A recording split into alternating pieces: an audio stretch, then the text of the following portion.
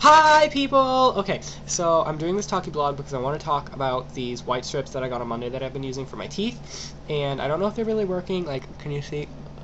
Yeah, there you go. My teeth look a little bit whiter, but I'm not sure if they're really working. And the thing that drives me nuts is that they cut up my gums. Like, hang on, ready? This is gonna get a little gross, but I don't care. Just like, hold on.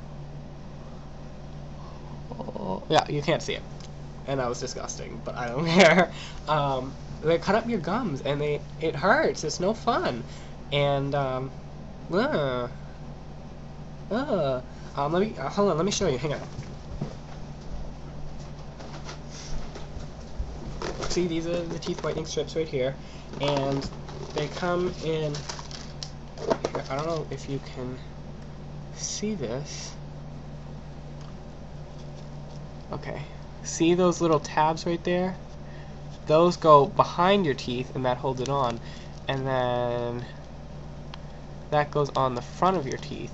And see it is kind of mm, it's not it tastes really gross in your mouth and it leaves this really weird aftertaste. And then when you peel them off you get this all like sticky stuff on your teeth. But I think it's working a little bit so I don't know. And right now I'm watching um, repeats of the surreal life. I'm just that cool. And yeah that's all I want to share with you, and I couldn't do it in writing because I needed to show you the strips and show you my teeth. Oh, haircut. What do you think? I think it's a little too short, mm, but considering I'm not going to get a cut again until November, and my hair grows super fast, I think it'll be fine.